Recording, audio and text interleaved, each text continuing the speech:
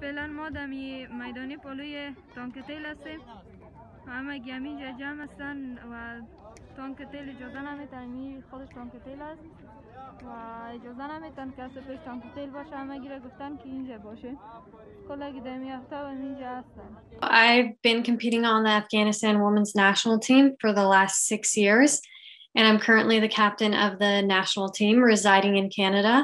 So, of course, like everyone, we're definitely deeply concerned about the devastating situation. Um, on top of the current situation, you also have COVID 19 that they're dealing with. They are fearing for uh, their safety and security, but also we're in a global pandemic at the same time.